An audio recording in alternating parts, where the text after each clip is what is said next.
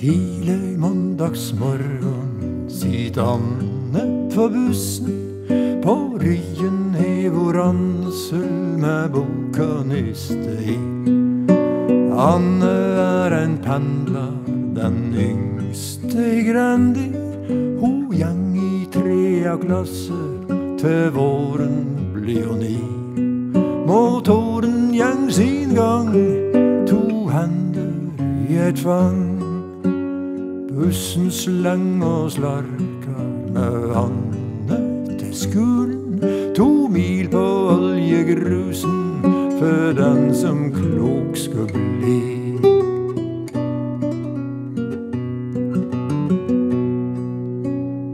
Lærerinda smiler i kristendomstimen. forteller om at Gud styrer himmel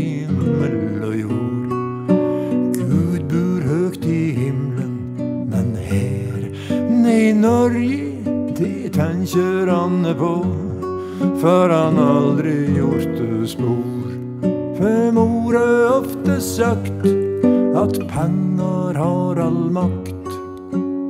Penger la ned skolen som lå heim i Grandi, og penger bygde ny som er langt fra far og mor.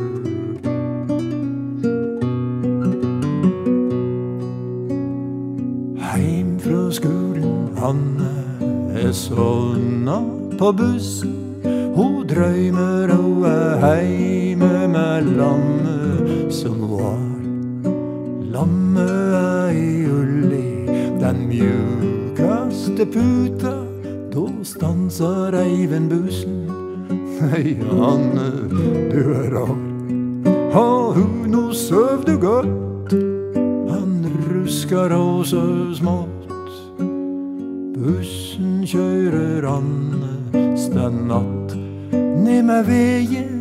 Ei liten pendler rusler seg heim til mor og far.